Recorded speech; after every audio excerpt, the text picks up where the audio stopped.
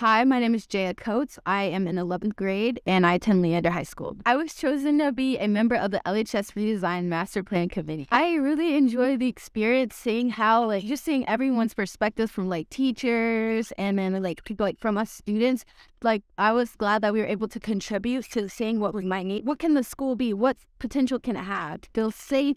How feel um feel like like everything is equal access, collaboration, saying more spaces where kids can work and just work together. Especially we're talking about like the view, visual steering, making sure to have more lighting come in. So then you can it's more inspiration. You inspire more people to just feel like, oh, I'm happy to be at school and I like happy. I want to work. I want to like achieve success and continue to just grow and be better. The signage outside to say, hey, this is us is a great way to show how great the school is. The entrance in the back, the, there's a main road here, but it's not going to be the front anymore. That's also really cool too because a lot of people definitely come from back when driving their kids to um school, and so that's going to be very convenient. He was talking about having less doors, which is really good for safety and security because we do have a lot of doors. He brought up the point of how people use the pack and how like the pack can be locked off from the rest of the school too. So that's another like uh, how they also considered safety and security, and I thought that was actually very well thought out and very well planned. With this new plan, there will be different areas that will evoke pride in the students and make them feel inspired to just be like, I can go hard. I know my potential. I want to reach my potential.